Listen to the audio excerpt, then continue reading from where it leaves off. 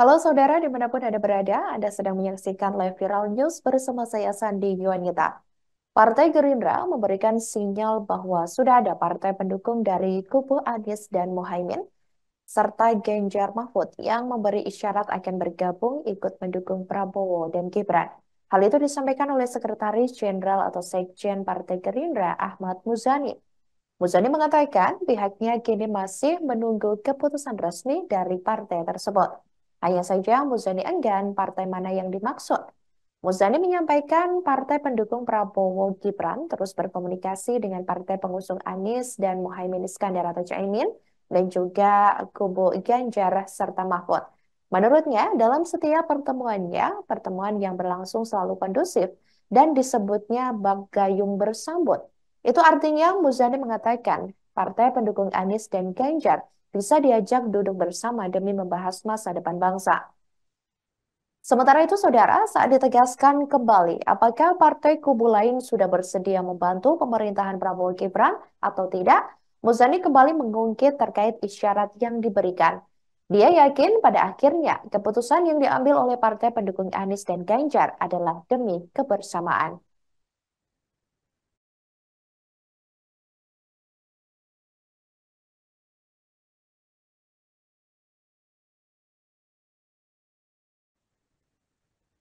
Mahkamah Konstitusi atau MK menjadwalkan sidang pengucapan putusan atau ketetapan perkara perselisihan hasil pemilihan umum atau PHPU Presiden dan Wakil Presiden 2024 pada Senin 22 April 2024 mendatang.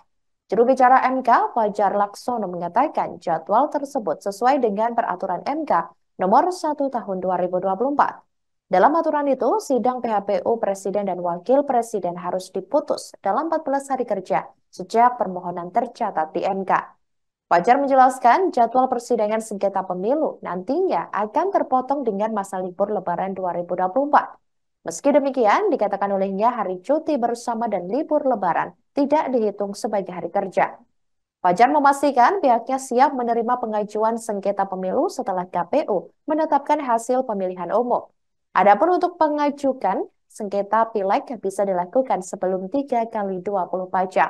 Hal itu sesuai waktu saat putusan KPU, yakni pada Rabu malam sekira pukul 22.19 waktu Indonesia Barat lalu, atau dalam kata lain artinya tenggat waktu pengajuan sengketa, yakni yang akan berakhir pada hari Sabtu 23 Maret 2024 sekira pukul 22.19 waktu Indonesia Barat.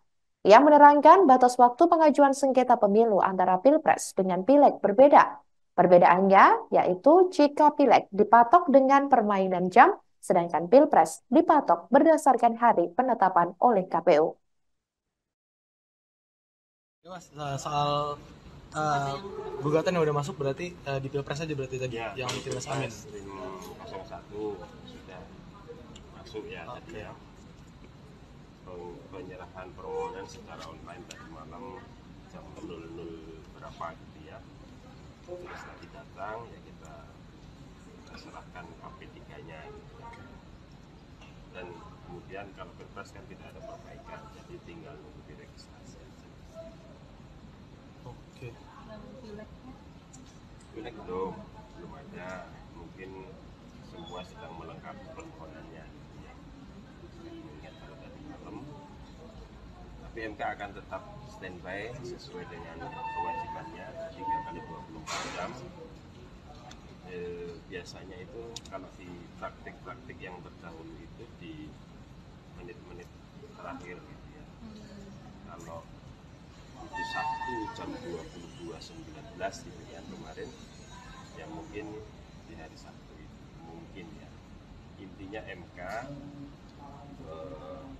siap untuk melayani peserta pemilu yang akan mengajukan perkara. Tapi ada nggak yang udah uh, info gitu mas akan gitu ada janjian? Enggak ada sih tadi malam ada tadi malam tadi malam sudah ada yang datang.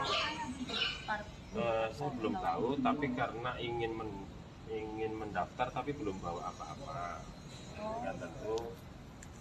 Kalau menurut ketentuannya kan kalau mau e, mengajukan perkara itu dia harus bawa permohonannya harus bawa identitas pemohonnya apa identitas dia apakah kuasa atau prinsipal gitu. Nah ini nggak bawa apa-apa. Nah, sehingga tadi malam kita apa kita alihkan ke layanan konsultasi supaya tahu gitu kan. Hari malam itu dari mana dia bilang saya kurang tahu tapi nanti saya cek dulu di layanan konsultasi eh, tapi jelek Iya, tiga kali 24 jam. Kemarin kan disebutkan di keputusan KPU ini diumumkan jam 22.19. Maka pileg itu tiga kali 24 jam. Hitungannya jam, berarti 2219 hari Rabu ke Kamis itu satu kali 24 jam. Kamis ke Jumat itu dua kali 24 jam. Jumat ke Sabtu jam 22.19 itu batas akhir permohonan. Kalau pilpres hari harinya hari apa? Ha- Harinya Sabtu. Nah, Sabtu itu selesai di pukul 24. Karena lewat dari pukul 24 kan sudah minggu. Jadi bedanya kalau di pileg itu mainnya jam, kalau pilpres itu mainnya di hari. Ya mas, soal eh, gugatan yang udah masuk berarti eh, di pilpres aja berarti tadi Ya. yang Sekretaris Jenderal atau Sekjen PDI Perjuangan Hasto Kristianto menanggapi terkait hasil rekapitulasi suara akhir dari Komisi Pemilihan Umum atau KPU RI yang diumumkan pada Rabu 20 Maret 2024 malam lalu. Melalui konferensi pers yang digelar oleh Tim Pemenangan Nasional atau TPN Ganjar Mahfud pada Kamis 21 Maret 2024 hari ini, Hasto menyinggung terkait dugaan penggelembungan suara. Pihaknya pun mencurigai adanya kecurangan pemilu 2024 dari hasil sistem rekapitulasi atau Sirekap KPU yang sempat menjadi sorotan, di mana hasil Sirekap pernah diisukan tidak sesuai dengan data di lapangan. Hasto mengatakan bahwa TPN Ganjar Mahfud sudah membuat berita acara perkara atau BAP sekitar 9 halaman terhadap seluruh pelaksanaan Pilpres 2024. Namun pihaknya mengaku masih melihat masalah perhitungan-perhitungan dari Sirekap. Bahkan pihaknya mengaku ada selisih suara yang mencapai 23,44 juta. bahwa pemilu ini tidak hanya dilihat dari hasilnya. Sebagaimana tadi malam eh, dilakukan di KPU. Ini eh, berita acara dan menyampaikan berbagai bentuk keberatan-keberatan sekitar 9 halaman terhadap seluruh pelaksanaan Pilpres. Tetapi hari ini kami masih melihat bahwa perhitungan-perhitungan di dalam Sirekap itu masih banyak mengalami eh, problematika eh, terkait dengan ujungnya dulu nih yang kami lihat. Setelah pencoblosan tanggal 14 Februari. Meskipun ketika menghadapi berbagai eh, tekanan-tekanan publik dari para pakar, KPU mengatakan Sirekap ini hanya alat bantu, tetapi di dalam praktek dan juga sesuai dengan eh, peraturan KPU sendiri, Sirekap bukan sekedar alat bantu. Di dalam praktek ketika terjadi persoalan selisih antara C1 yang disampaikan oleh saksi-saksi dengan hasil perhitungan, itu rujukannya adalah Sirekap. Jadi ini lebih dari sekedar alat bantu. Apalagi juga menggunakan dana APBN yang harus dipertanggungjawabkan. Karena itulah kami secara keseluruhan dari pakar IT melihat bahwa sejak tanggal 14 Februari ketika perhitungan itu mulai dilakukan, yaitu eh, sekitar jam eh, 2.30 waktu Indonesia Barat, sudah terjadi eh, perubahan sebanyak 431.515. Terjadi di lebih dari 243.000 TPS.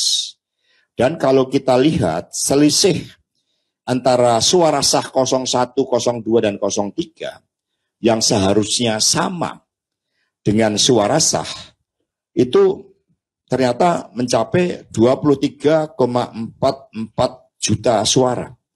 Dan ini terjadi penggelembungan suara. Bahwa pemilu ini tidak hanya dilihat dari hasilnya. Demikianlah viral news kali ini saudara. Jangan lupa download aplikasi Tribun X untuk informasi lebih lengkap di www.tribunx.com. Jangan ke mana-mana dan selamat menyaksikan program selanjutnya. Terima kasih dan sampai jumpa. Download Tribun X sekarang. Menghadirkan lokal menjadi Indonesia.